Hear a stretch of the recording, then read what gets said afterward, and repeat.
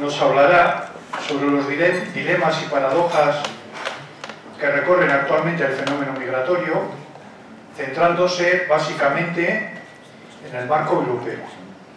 Para ello recorrerá diferentes modelos migratorios que hoy están vigentes y desde ahí descubrirá una de sus constantes, la inmigración es necesaria en términos estructurales, a la vez que socialmente rechazada. Eh, esta constante afecta a una realidad como la europea, aquejada de un proceso de fragmentación interna, me parece que hemos escogido el primer día para demostrar que esto es así, eh, con una vuelta a la lógica estatalizada y sin que haya un modelo de inmigración consensuado y pactado.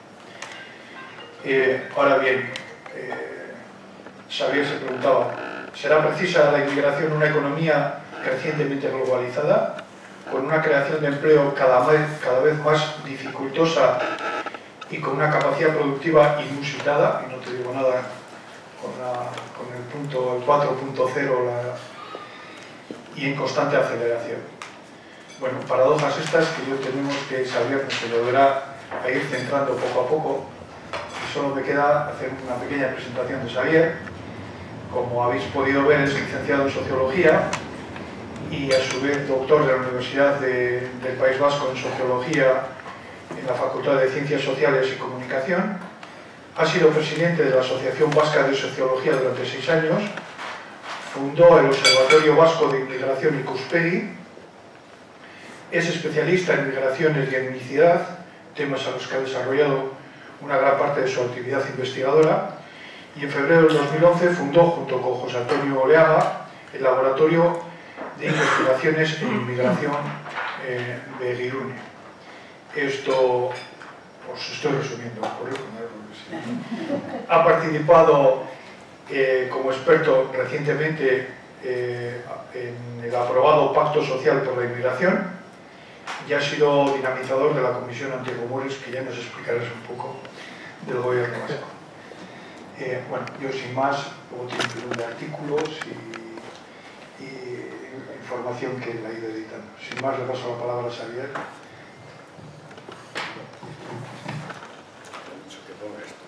¿Se escucha? Sí.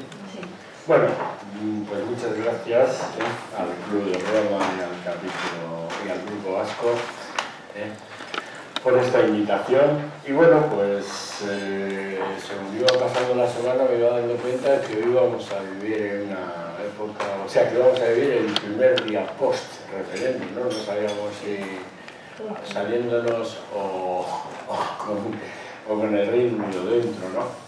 Entonces, pues bueno, pues viene bastante bien el título, y el título pues también es un título que manejo desde hace bastante tiempo.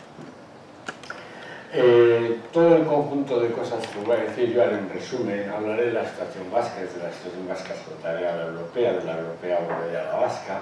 Digo simplemente para, para ver pues dónde, dónde estamos o dónde no estamos con el tema de la inmigración y planteo necesidad, rechazo y luego planteo dilemas y paradojas porque en el fondo eh, creo que si en algún caso a esa frase tan socorrida que se le ha, que se le ha adjudicado a Eduardo Galeano, de que ahora que teníamos todas las respuestas nos han cambiado las preguntas, pues yo creo que pocas veces ha sido más acertado. ¿no? Es decir, yo creo que estamos intentando afrontar problemas del siglo XXI con esquemas del siglo, vamos a decir, XIX, no, pero sí del XX. ¿eh? Y tenemos muchas, tenemos muchas dificultades para entender lo que nos sucede porque eh, queremos cuadrar eh, realidades que probablemente ya a estas alturas pues no son compatibles. Entonces, la primera idea que yo siempre utilizo es la de needed but not welcome, ¿no? Es decir, necesitamos gente, pero preferiríamos que no viniera. ¿eh? Y esto es una constante en el fenómeno migratorio. Este es el problema básico del fenómeno migratorio. Es decir, se precisa gente, pero no es bien recibida o no la vamos a recibir bien. O se precisa gente en cuestiones desde una perspectiva estructural pero eso no significa que la sociedad que acoge admita esa necesidad estructural.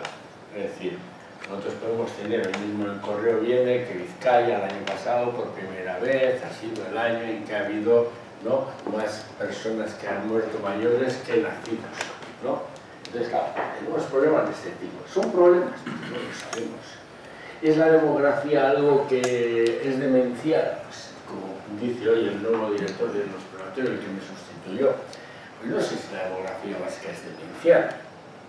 Es una nueva estructura. Lo que estamos es en una realidad donde a medio plazo va a haber mucha más gente mayor que jóvenes, cosa que no había sucedido jamás en la historia. Esto es una realidad que es nueva. Aquí no se puede aplicar un esquema antiguo. Esto no había sucedido nunca y empieza a suceder. Pensemos que al otro lado del Mediterráneo, al otro lado del Mediterráneo, aquí, ¿eh? a, mil kilómetros o a 14 kilómetros, según decía la película, el 29,7% de la población magrebí o norteafricana tiene menos que 15 años. Claro, o sea, estamos con unas situaciones pues, que, que en su momento habrá que gestionar y vamos a ver cómo lo Pero a la vez en Europa estamos con una población que casi el 50% va a tener más de 50 años. Entonces uno dice, ¿y esto cómo lo gestionamos? Esto tampoco estaba previsto. Bueno, pues, ¿y esto cómo lo gestionamos? Pues es difícil saber cómo lo vamos a gestionar, porque no tenemos soluciones para este tipo de situaciones. Entonces, ¿necesitamos invertir en demografía? Pues igual sí. Por eso también van las paradojas y los dilemas. ¿Podemos resolver esto con inmigración? Pues igual también. ¿Entran en contradicción la inversión en familias y en demografía con la inmigración? Pues igual sí, igual no. Es decir que, ante todo, mucha calma, solo decir yo, porque vamos a enfrentarnos a problemas nuevos. Lo que sí es cierto es esto, que coinciden todos los expertos en migraciones. Sami que es uno de los grandes analistas de la migración y de la política migratoria promovida tanto por la Comisión como por el Consejo Europeo, parte de la contradictoria idea de que la inmigración es a la vez una necesidad y una amenaza. Es una necesidad para el mercado laboral, pero luego resulta una amenaza porque al final eso afecta a los sectores, digamos, más débiles de la propia sociedad. Y así se vive desde esos sectores. Entonces, ¿Cómo conseguimos compatibilizar la necesidad con la amenaza? Pero esto, esto lo decía Pilar Bonet, que fue durante muchos años, ¿eh? Eh, estuvo del país en, Rusia, y decía lo mismo, ¿cuál es el problema que tiene Rusia? Una contradicción difícil de resolver. Buena parte debe contra, contra un estado de ánimo social, populista, nacionalista, incluso xenófobo, y por otro debe atraer inmigrantes para evitar el descenso de su población y envejecimiento y desarrollar su economía. Pero eso también lo decían, pues, lo decían también en Bonino y Javier Solana hace cinco años, ¿eh? Cuando redactaron un memorándum de la Unión Europea diciendo Europa está perdiendo población, la tasa de fertilidad está en lo que sea, necesitamos inmigrantes para mantener simplemente el equilibrio demográfico. Entonces, bueno, pues este es el argumento recurrente. Este es el elemento que de alguna forma, el elemento que de alguna forma ¿eh? nos hace afrontar el fenómeno migratorio. Por un lado, la inmigración es necesaria en términos estructurales, tanto para el ámbito de la producción futura. Pensar, por ejemplo, que simplemente viendo, porque seguimos hablando de pirámide, de pirámide de la población, pero hoy por hoy la estructura de la población se parece más a una carolina, ¿eh? al pastel, ¿eh? a una carolina. Poca base y dentro de 20 años gran parte de nuestra población activa va a tener más de 55 a la vez que por debajo no va a haber gente que le supla. Lo que no sabemos es cómo va a ir la productividad, cuánta gente va a ser necesaria para trabajar, qué empleo se va a generar. Es decir, yo solo ser en estos aspectos un hombre bastante tranquilo, ¿eh? un tranquilo, no sé si soy un optimista antropológico, pero sí pienso que habrá que afrontar gran parte de estos fenómenos pensando más en hipótesis futuras que en hipótesis o en tesis anteriores. Slavoj Zizek es un gran filósofo y este ha utilizado un libro, en un libro, chistes para explicar sus posiciones filosóficas. Y utiliza uno de los eh, chistes que todos conocemos, el de esa persona que llega un poquito afectada por el alcohol a casa, ¿no? y pierde la llave y está mirando debajo, debajo de un farol. Y le dice a alguien, oye, ¿qué, ¿qué haces aquí? Nada, buscando la llave. ¿Qué pasa? ¿La has aquí o qué? Le dice, no, ahí. Entonces, ¿por qué miras aquí? Hijo, es que aquí hay luz. Bueno, pues yo creo que el problema es que seguimos mirando debajo de la parola. Miramos donde hay luz. Donde hay luz es donde se le da perfectamente a la migración, porque normalmente tiene rasgos que la distinguen de nosotros. Entonces, lo más fácil, lo más fácil en el fondo es encontrar alguien a quien puedas adjudicar, adjudicar, pues, la causa de la crisis. Entonces, yo a veces me planteo, hay un problema real. Hay un problema real en Inglaterra con la inmigración. O es el problema desde el cual sí uno puede sacar tajada. Porque no nos olvidemos que en las anteriores elecciones Cameron adopta el mensaje de UKIP y tiene los mejores resultados que han tenido los conservadores durante muchos años y UKIP se queda solo con un diputado. Y no fue Farage el que salió elegido, curiosamente, el líder, el que ayer salía como el gran vencedor del referéndum, él no sale elegido. ¿Por qué? Porque Cameron adopta su discurso, se le roba, y como allí tenemos sistema mayoritario por circunscripciones, se lleva toda básicamente todo el botín. Entonces, claro, si hay algo sencillo en el ámbito, en el ámbito de la movilización, yo no voy a decir, no sé si de la xenofobia, del desamparo, del miedo, de la incertidumbre, si hay algo sencillo, a la vez que algo muy peligroso, es tener éxito con un discurso xenófobo.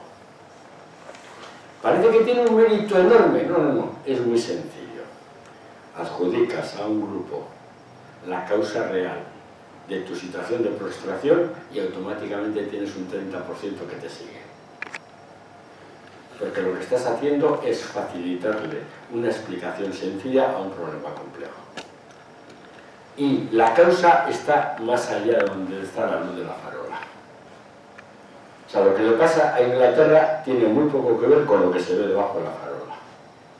Muy poco que ver y lo que le pasa a Euskadi, lo que le pasa a España, lo que le pasa a Francia, lo que le pasa a Alemania, está mucho más allá. Está en otro sitio que se llama globalización, que se llama soberanía nacional, que se llama desamparo de la población, que se llaman problemas económicos, que se llama eh, dificultad de generar empleo, que se llama o todo eso a la vez. ¿eh? Está más allá. Entonces yo no sé si muchas veces la inmigración es la causa o simplemente es la excusa. Ahora, como excusa es eficaz, funciona siempre. Y siempre va a funcionar. No, hay ningún mérito, ningún mérito ideológico ni de inteligencia ¿eh? en estos líderes para decir, al final, eh, eh, en distancias cortas, Maroto consiguió el 36% de los votos, diciendo que los magrebíes eran los culpables de todos los tipos que abusaban de las ayudas sociales el 36%. Que en el fondo no es un mensaje difícil, es un mensaje muy sencillo, simplemente hay que tener la valentía de darle un paso y decir, voy a utilizar esto. Punto. ¿Utilizas o no utilizas? Si utilizas, ganas. El tema es si merece la pena utilizarlo. Que este es el peligro que yo creo que ahora vamos a tener en Europa. Es decir, al final el tema es si vamos a generar zonas de aquiescencia o ámbitos de impunidad. Pues claro, una vez que dado este paso, desde mañana va a haber un montón de gente en Inglaterra que se sentirá como investida, no sabemos por qué autoridad, pero por el voto, por el refrendo de una sociedad diciendo, oiga, desde mañana si quiere, si le agrede a X inmigrantes, le va a salir gratis. Este es el peligro. El peligro es cuando alguien se siente como autorizado. Y esta autorización de facto, con este resultado, ya está ahí tácita. Hemos ganado, nos vamos, porque la inmigración es la culpable, luego lo que podamos hacer con la inmigración de aquí en adelante puede ser ilícito. Este es el peligro siempre. ¿eh? Entonces, como la noche de los cristales rotos. ¿eh? Cuando una población se puede sentir, ¿eh?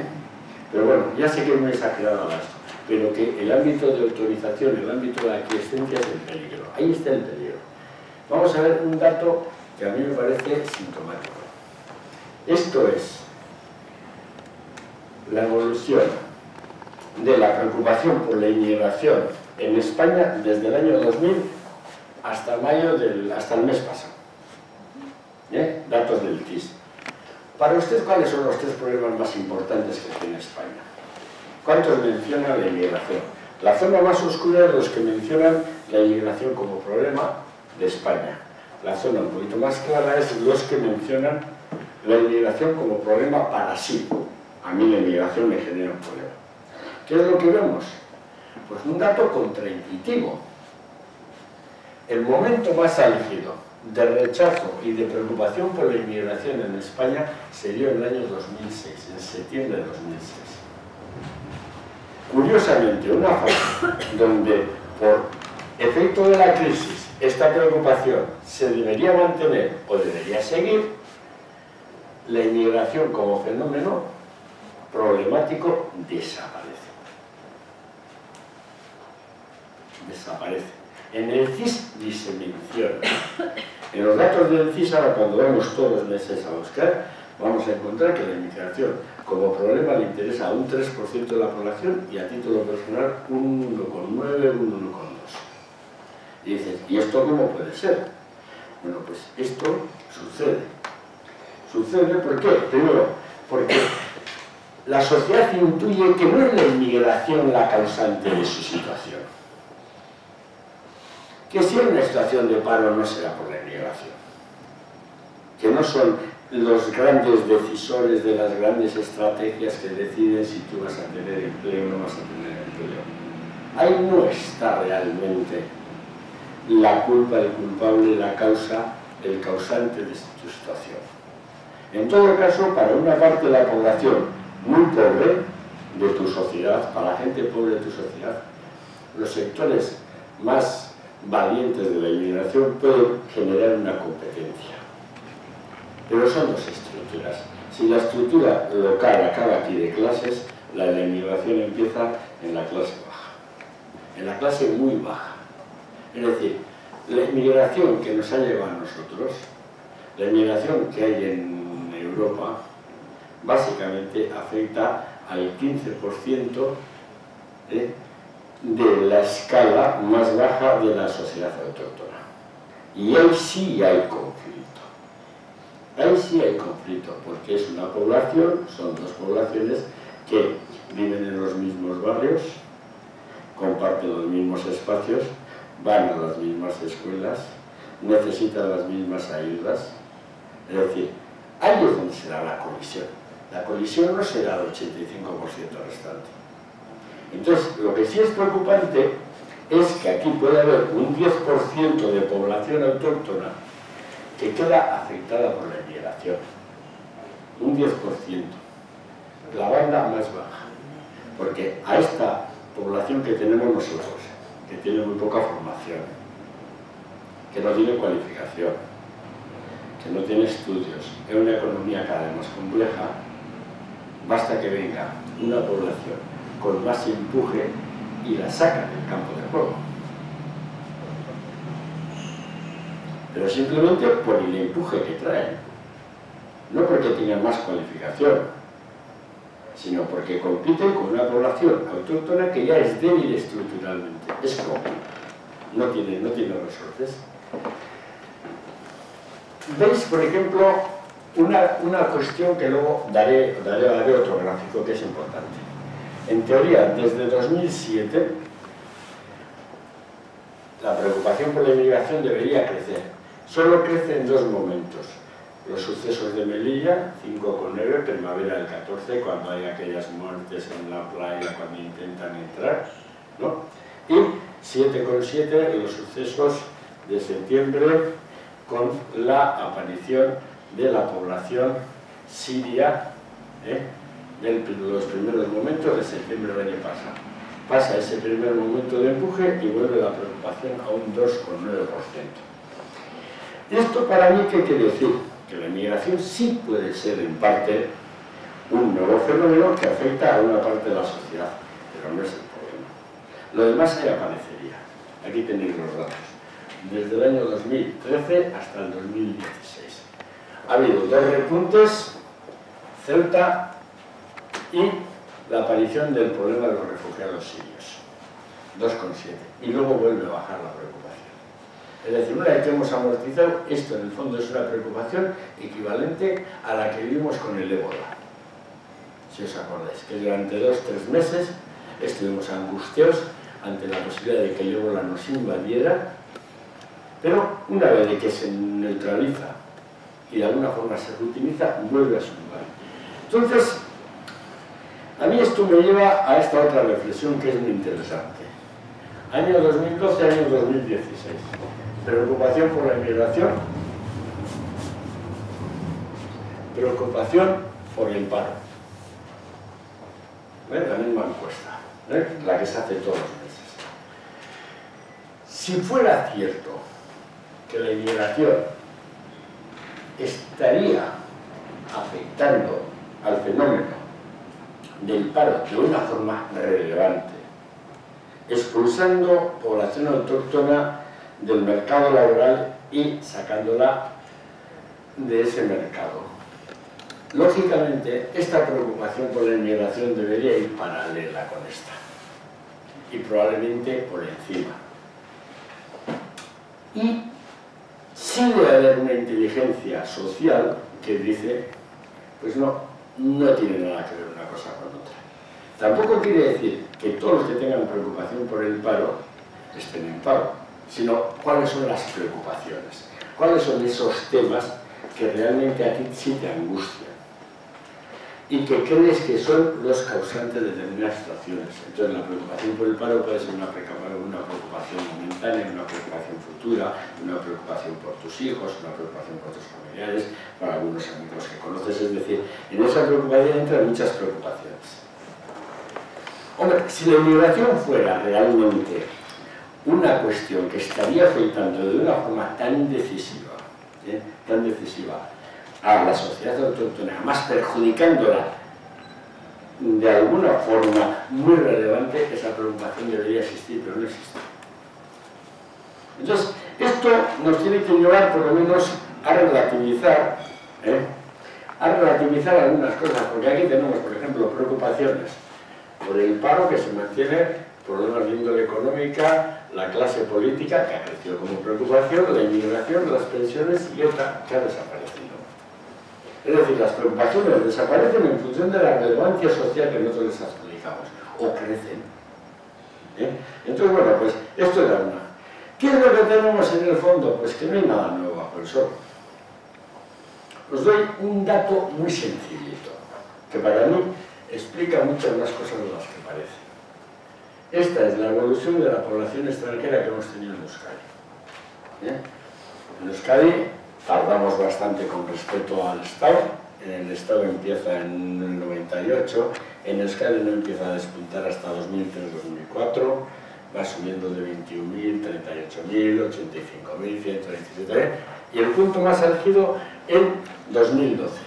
En Euskadi, curiosamente, sigue subiendo porque todavía la economía sigue teniendo, digamos, un cierto repunte, una cierta energía. Es como cuando vas en... Eh, la montaña rusa y todavía te queda para hacer el último saltito, el último esfuerzo, hasta el 2012. Ya se había parado en España dos, antes, dos años antes de la inmigración.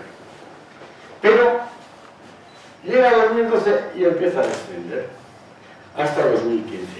Y con los primeros datos de 2016 parece que ha habido un repunte, pero estamos hablando de mil personas, un poquito, mil, una, mil cien, algo ¿Esto qué significa? Que la migración se mueve por un mecanismo tan sencillo como complejo que es el boca-oreja. En el fondo detrás de toda inmigración hay un mecanismo social. Tú puedes ir a buscar una población a la medida, esa población a la medida ya la está buscando la Diputación con, ¿eh? la está buscando pues con Vizcaya 7. Es decir, necesito 10 ¿eh? informáticos de altísimo nivel y a estos les tienes que fichar como a Messi, en las mismas condiciones que a Messi. Porque a este le tienes que traer a él, le tienes que facilitar un centro educativo muy potente para que sus hijos vengan, para que le interese venir, para que no descarte una oferta en, yo qué sé, en Londres. A su vez, su familia tiene que estar muy a gusto. Y, curiosamente, necesita dos chicas, probablemente latinoamericanas, que le hagan el trabajo de casa.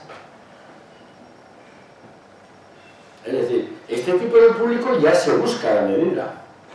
El tema es el que te llega sin que tú establezcas muchas dificultades o incluso estableciendo dificultades te vienen. Entonces, el famoso mecanismo de no tendrás un hermano o una hermana tan fina como tú te quiera trabajar. Esto funcionó en las migraciones españolas hacia Euskadi. Esto funcionó en las migraciones vascas hacia afuera. Y esto va a seguir funcionando todas las veces como mecanismo social. En el mismo momento en que las posibilidades de contratabilidad desaparece en una determinada sociedad, el flujo se para. Y esto es tan sencillo, a la vez tan complejo, ¿eh? tan sencillo, tan complejo que España ha sido después de los Estados Unidos en la primera década de, del año 2000, ¿no? el país que más inmigrantes ha recibido. Y luego pues, ha perdido un millón y medio. ¿Cuáles son los grandes problemas que tiene España y Europa? Con la inmigración, pues, dos muy grandes, que tiene 1.200.000 parados, de los que consiguieron básicamente la regularización todos, 1.200.000 parados, y que tiene 700.000 niños y niñas en las escuelas, que de alguna forma tenemos que conseguir que no se genere, hay situaciones ¿eh? que perpetúen la situación de debilidad o de dependencia o simplemente que al final sean clase marginada futura. Esos son los dos grandes retos que tiene en este momento España con la inmigración y en general Europa. ¿eh? Entonces, esto que es tan sencillo, pues muchas veces te dicen, ya, ya, y los irregulares. Bueno, pues vamos a contar los que han nacido en el extranjero. Los que han nacido en extranjero son 184.000 digamos algunos más, algunos ya eran nacionales españoles antes y otros se han nacionalizado. Es decir, se nacionaliza, digamos, parte de la población, al nacionalizarse desaparece como extranjero, pero así todo, incluso aquí desaparece ¿eh? el volumen. No va a haber más inmigración, salvo en un caso del que nosotros solicitemos. Frente a eso que se hace a veces, y en Europa es lo mismo, ¿eh? se puede ocurrir otras cosas que tenemos el caso sirio, que es otra variante. ¿eh? Pero no va a haber nunca más inmigración que la que tú llames. No hay efecto llamada, hay efecto necesidad. Y normalmente esa necesidad es la acumulación de pequeñas decisiones que se adoptan en muchos domicilios porque de la misma forma que la inmigración española hacia Euskadi es una inmigración industrial y el tractor es la industria y la economía ¿no? externa al domicilio, en este momento el gran tractor de la inmigración extranjera en Euskadi es el domicilio y sus necesidades. Antes os he dicho un gran problema, el de la demografía. Vamos a una sociedad donde va a haber mucha más gente mayor que niños y eso parece antinatural, igual no lo es. Pero de momento, con todo lo que hemos vivido, nos parece antinatural. Segundo gran problema que tenemos en Euskadi y que tenemos, y que tenemos en Europa. ¿Os acordáis? Vázquez Montalbán, aquel escritor famoso, escribió hace muchos años, ¿eh? hace mucho ya, pero escribió hace un libro que era El balneario. Y era una metáfora de Europa, diciendo que Europa era un balneario. Claro, gran problema de Europa.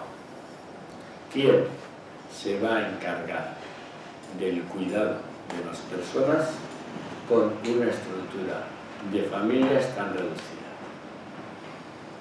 Este es un problema al cual Europa no sabe cómo afrontar. No sabe qué hacer. Porque esto al final es dinero, dinero, dinero, dinero. O es dinero público o es dinero privado. Si es dinero público hay que tener claro que hace falta una fiscalía muy fuerte, países nórdicos la gente cuidada en casa, con unos servicios sociales potentísimos y donde la, casi una quinta parte, una cuarta parte de la población vive del presupuesto del Estado. Esto es lo que nunca se dice. El funcionario, el funcionario, vamos a matar al funcionario, vamos a matarlo, venga.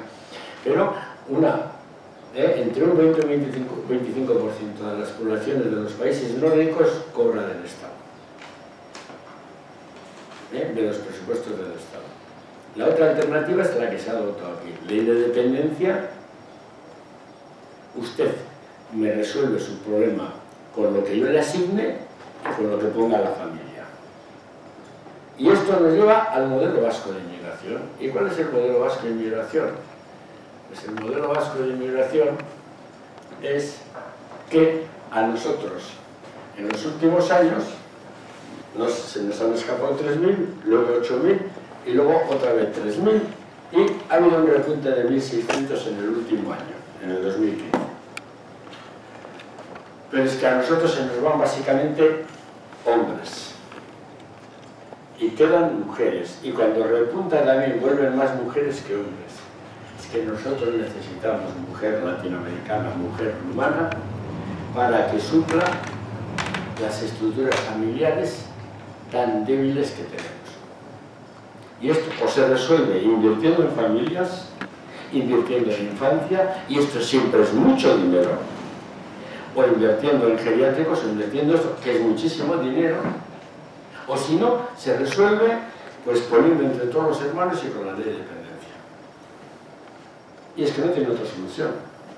La otra solución es que nos enfademos todos los hermanos, ¿eh? que no nos hablemos, que quién ha hecho más por los padres que el otro. Esto se resuelve normalmente contratando una persona que es mujer, que resuelve y que aquí incluso las mujeres podrían plantear un debate muy importante, es decir, por qué todo este ámbito del cuidado sistemáticamente se lo tiene que comer la mujer.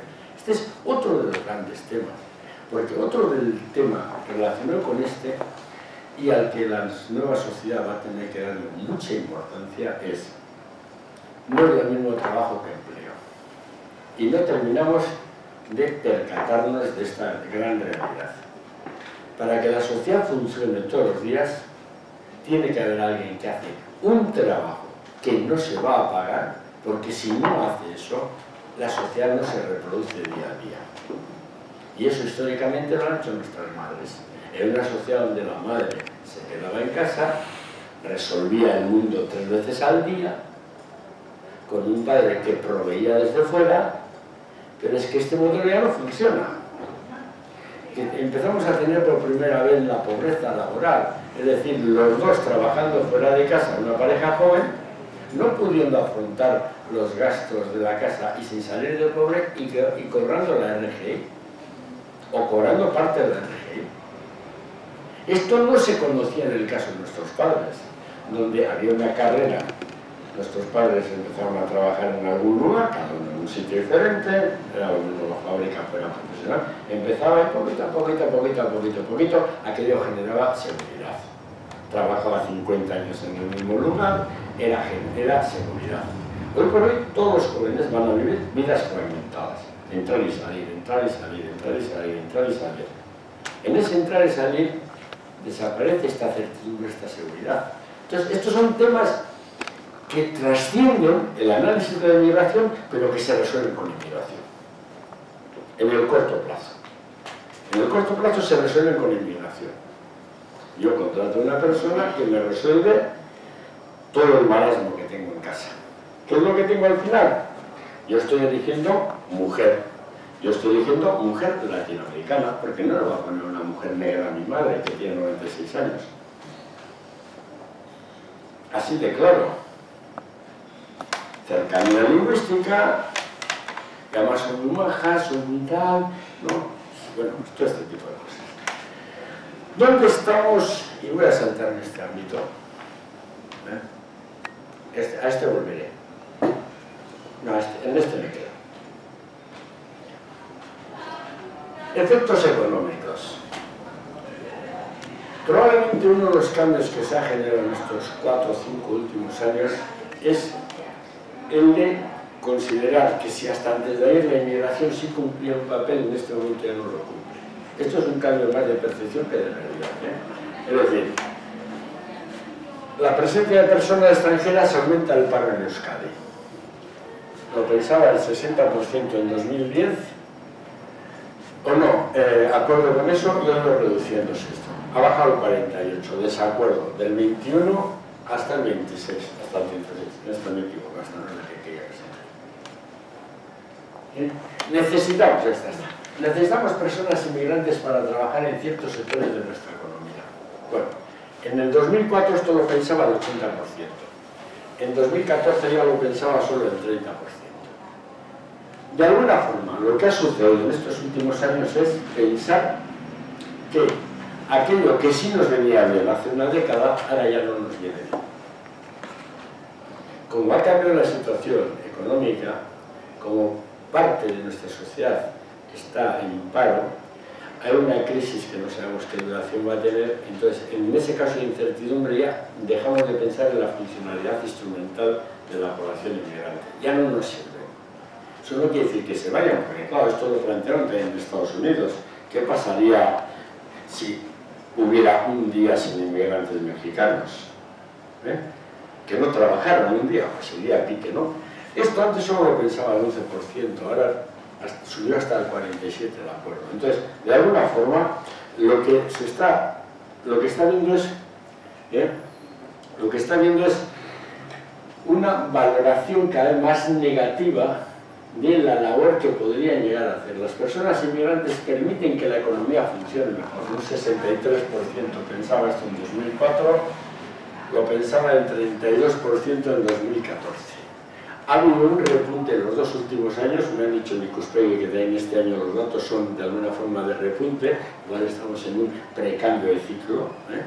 en un precambio de ciclo, pero de alguna forma se veía que podían estar aquí, porque cumplían una función económica y ahora ya eso ya no se ve tan claro. Esto tampoco significa que la población autóctona esté dispuesta a ir a esos trabajos que hipotéticamente dejaría a la población inmigrante y se fuera. Probablemente tampoco lo se ¿Eh? Pero molesta de alguna forma que esté. Impacto económico. Bueno, pues se hizo un estudio de impacto económico solo en políticas públicas, entre lo que se traía en inversión y en ingresos, en lo dedicado a la población inmigrante y lo que ingresaba la población inmigrante, y en el año 2008 era un saldo, no estamos hablando de la economía privada, es simplemente gasto público o inversión pública. Había una diferencia de 71 millones a favor de lo que la población extranjera simplemente en el ámbito público suponía y en 2012, como efecto de la crisis, se había bajado a 38, 71 a 38, pero incluso seguía siendo el impacto positivo. Ah, ¿qué más ver? Aquí es donde vamos a entrar con el tema ¿eh? con el tema de la fatiga de la solidaridad, que a mí este es un tema que sí me preocupa y nos viene muy bien con lo del Brexit y volvemos a ir, ahora pegamos un salto hacia Europa con datos locales. Fatiga de la solidaridad, bueno, pues los alemanes tienen este mantra, ¿no? De abajo. ¿eh? ¿Qué es Europa? Europa es cuando los gobiernos deciden algo y Alemania paga. Esto es un punto de vista que está muy extendido entre los alemanes, ¿no? ¿Eh? Y Alemania paga.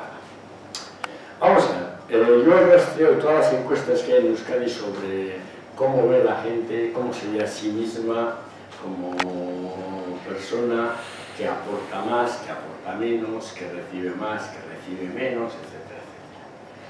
Entonces, pues bueno, aquí puede haber, digamos, una quiebra de la solidaridad o una... Puede haber, ¿eh? Tampoco creo, porque yo creo que en el fondo luego, de la misma forma que si Dios escribe recto con renglones torcidos, la sociedad se comporta bien con malos discursos. Esto es una cosa de la que estoy convencido. ¿eh? Es decir, que los malos discursos lo que hay que conseguir es que no pasen a malos comportamientos. Pero con malos discursos uno se puede portar bien. ¿eh? Y esto es muy importante, y aquí es donde tenemos que mantener la textura moral de, esta sociedad. ¿eh?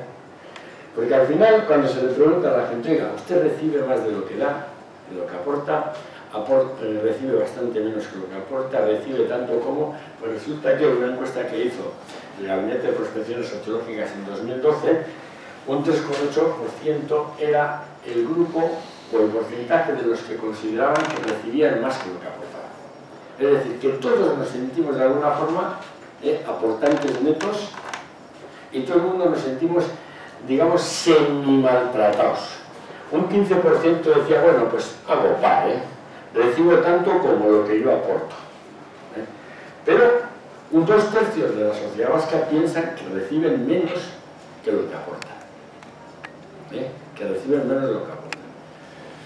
Esto si simplemente es constatar, pues decir, mira, pues no pasa nada, yo estoy encantado con recibir menos porque tengo disponibilidad, pues ni tan mal, estamos en, un buen sitio. El problema puede ser cuando la gente aquí pueda sentir que eh, de alguna forma alguien le está quitando. Pero vamos a este, a este cuadro que es, sí es muy importante. Esta es una pregunta que también hizo realmente prospecciones sociológicas diciendo, oiga, ¿Qué sectores cree usted que realmente en Euskadi están muy protegidos, bastante protegidos, poco protegidos o nada protegidos? ¿Eh?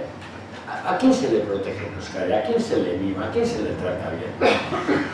Bueno, pues un 63% de las personas consideran que en Euskadi tratar bien, tratar bien, solo se les trata a los inmigrantes. Como segundo grupo mejor tratado estarían los pensionistas. Como tercer grupo mejor tratado, las personas discapacitadas, personas que viven solas, personas mayores a su cargo, pero claro, del 63 ya bajamos al 20 para abajo. Los jóvenes un 11%. Claro, esto, de alguna forma, sí nos está dando un retrato de la sociedad donde eh, casi las personas están más o menos diciéndonos, que casi sería como si fuéramos extranjeros.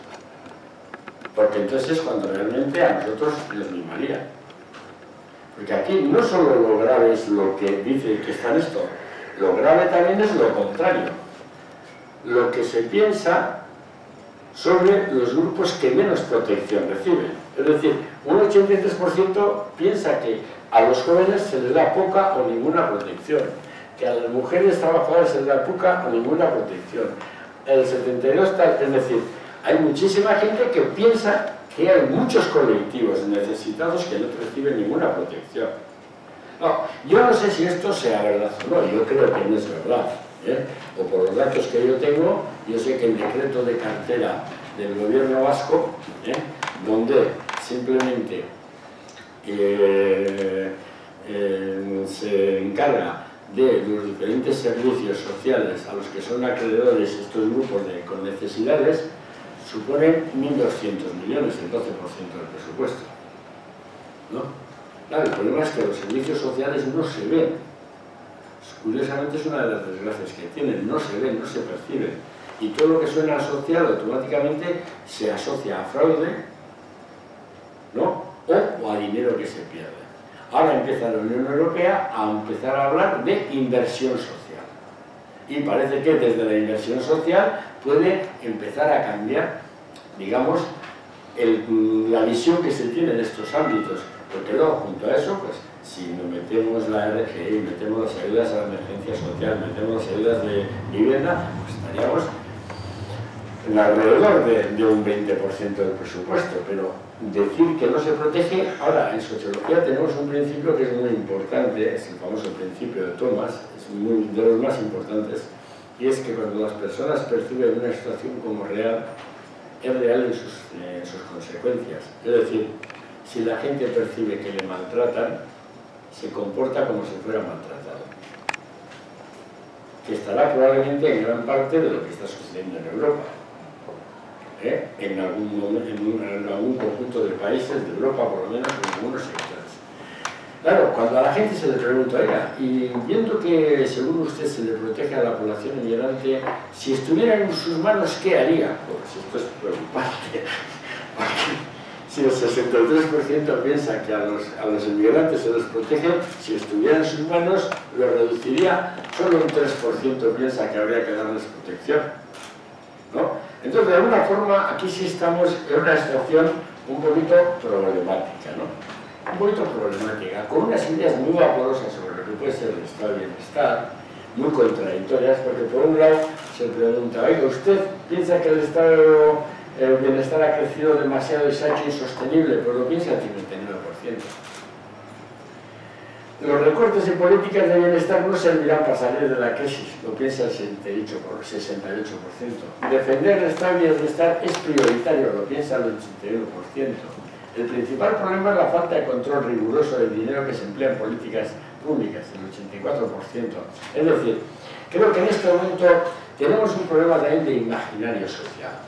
Tenemos un problema de un discurso relativamente eh, articulado, bien pensado, bien trabado, que no existe. Pensamos cosas muy contradictorias sobre algo que queremos pero que a la vez criticamos y no sabemos si es más eh, la pérdida del dinero porque no hay un control riguroso, si el Estado, la prioridad del Estado de bienestar, sobre si no se sirven las políticas de austeridad para salir de la crisis. Es decir, tenemos un matrimonio ideológico en este momento muy potente y de alguna forma esto está dando pie, en mi opinión, a que haya muchísima gente que se siente maltratada y desamparada. ¿eh? Y que desde ahí se explican los malestares sociales y que desde ahí se explica que sectores crecientes de nuestra sociedad se alineen con gente que dé unas soluciones relativamente sencillas. Porque si le preguntamos a la gente sobre el efecto de la inmigración en Euskadi, pues te dicen, viven de las ayudas sociales y abusan de ellas. Lo piensa un 68%. Nos quitan el trabajo, lo piensa un 45%. No podemos aceptar más inmigrantes, son demasiados, un 35. Crece la delincuencia, un 25. No se quieren integrar, un 25. Colapsa la sanidad, un 22. No pagan impuestos, 16. Aumenta el machismo, el 13. Se llevan las viviendas, el 12. No, carecen de civismo, el 6%. Bajan el nivel educativo de las escuelas, un 5%. Bueno, pues esto es más o menos lo que se dice ¿eh? Sobre el fenómeno migratorio. Si a esto le añades lo que tú consideras que a ti te está ocurriendo, ¿eh? te está ocurriendo a nivel personal, pues dices, bueno, pues aquí lo que necesitaríamos es una cierta pedagogía social, necesitaríamos una cierta, por lo menos, coherencia ideológica para poder explicar todos estos fenómenos. Pero yo creo que cada vez el mundo es más complejo, es más difícil de entender, no sabemos lo que ocurre y realmente lo que está detrás yo creo que es que el fenómeno de la globalización trae una, un divorcio muy grande entre lo que es la economía y la política. O sea, si el siglo XX ha sido el de la economía nacional, el del Estado nacional, el de la industria nacional, ¿no? Básicamente era un receptáculo que generaba, dominaba la economía que había dentro de su territorio, era dueño del Estado, en teoría, sobre eh, gran parte de los recursos estatales, los cuales podrían ser liberados y utilizados para en un momento determinado generar una acumulación que a su vez fuera sus ciudadanos. ¿no? Ese es el modelo con el cual todavía estamos funcionando. Ese es el modelo que quieren los ingleses que han votado favor de salirse. Lo que quieren es que los ingleses sean para los ingleses. Cuando a Marine Le Pen le pregunta la, la cadena de la sexta, le dice, oiga, ¿usted admitiría a trabajadores españoles en Francia? Le dice, sí, siempre y cuando el último francés ya esté trabajando. Entonces, en este momento vemos en la ilusión de que podemos tirar hacia atrás, que no existe globalización, que podemos dominar los recursos propios y además estos van a ser utilizados para la mejora de la propia sociedad. Pero claro, la globalización básicamente lo que supone es divorcio de economía y política, básicamente. Una economía absolutamente incontrolable por los estados nacionales. En el fondo, los tuyos tenían muy buena voluntad, pero de los grandes procesos económicos no puede controlar. Rajoy tendrá buena voluntad, Hollande tendrá buena voluntad, y hombre, según lo del país que seas, evidentemente generas, tienes un mayor o menor control, pero tienes el control que tienes. Entonces, este divorcio nos genera un gran problema, y es que las sociedades no son conscientes no son conscientes de la incapacidad que en este momento tiene la política para el control de la economía. Y en la medida en que no son conscientes de eso, acusan a los políticos porque también son los que están debajo de la farola. Es decir, en este momento la, la política es muy débil ante una economía globalizada de difícil manejo. Y este es el gran problema está, yo creo, y es un problema de desajuste. Es decir, placas tectónicas que no terminan todavía de, ¿no? de estar unas sobre otras. Ante esto, ¿qué, solución tienes? Pues British First, ¿eh? primero los españoles, ¿eh? Francia para los franceses y auténticos finlandeses. Es decir, en el fondo, lo que quieres es volver, es como aquel famoso chiste que apareció en una calle de Varsovia, ¿no? Decía una pintada, que nos devuelvan el socialismo. Y alguien le responde, pero no te enteraste tonto que nunca hubo socialismo en Polonia. Entonces vuelve el primero y dice, pues que nos devuelvan lo que había. Porque lo que había era cuando el Estado controlaba los recursos nacionales y de alguna forma se preocupaba de nosotros. Cuando había orden, cuando había certidumbre. Claro, la globalización trae desorden o trae un nuevo orden y trae mucha incertidumbre. Entonces, el gran debate, que yo creo que se va a abrir en, vamos a suponer, 10, 20 años, ya está, ya, ya, está operando, ¿eh? pero que se va a abrir, del que vamos a ser conscientes, es de lo que plantea el famoso trilema de Rodrik. ¿no? Rodrik es un investigador turco, curiosamente, y dice que no es compatible la globalización con la soberanía nacional y con la democracia. Por eso habla de trilemas, no habla de dilemas. Dice, es compatible la soberanía nacional, la soberanía nacional y la democracia. Es lo que han hecho ayer en Londres o en Inglaterra. Nosotros queremos soberanía nuestra ¿eh? y democracia, democráticamente. Ahora, ¿domina la economía? Pues igual en algún caso sí, o no es la globalización. Yo me puedo adaptar a la globalización sacrificando, sacrificando la democracia. Entonces yo puedo al final ofrecerle a mi sociedad más autoritarismo, más autoritarismo, pero te ofrezco certidumbre económica. Es decir, y esto es un debate que se va a abrir muy interesante. Y junto a esto está lo que algunos están teorizando, que lo que es bastante inasumible para el principio democrático es la aparición de instituciones contramayoritarias.